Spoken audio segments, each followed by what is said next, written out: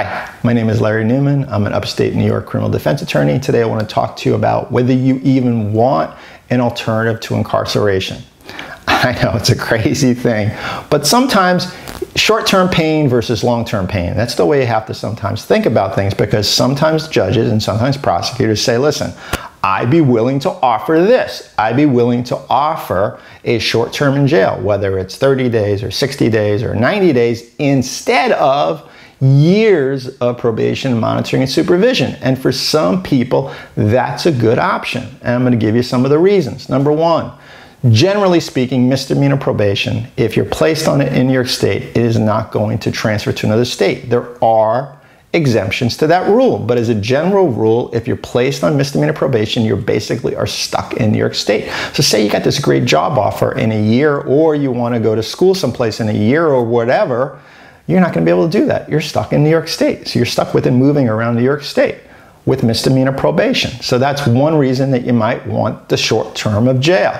Second reason is do you want to be closely monitored and supervised for years? Misdemeanor probation is two to three years.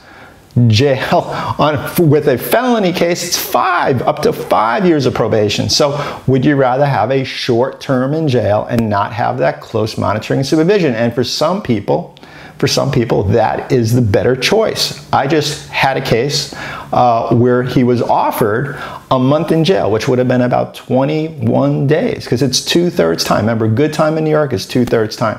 21 days in jail. And he decided that he wanted to pick three years of probation, supervision, and monitoring.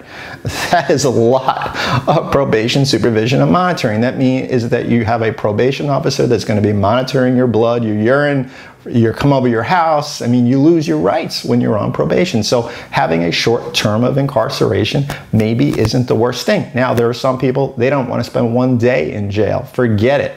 That is not an option for them. I totally get that. But you have to really think about, is this something that I want? Because if it's an option that you're willing to explore, then sometimes jail is a better choice than having long-term supervision and monitoring. If you have a question about your DWI or other criminal defense matter in upstate New York, you either give us a call, shoot us an email, be more than happy to discuss it with you. And thanks for watching this video.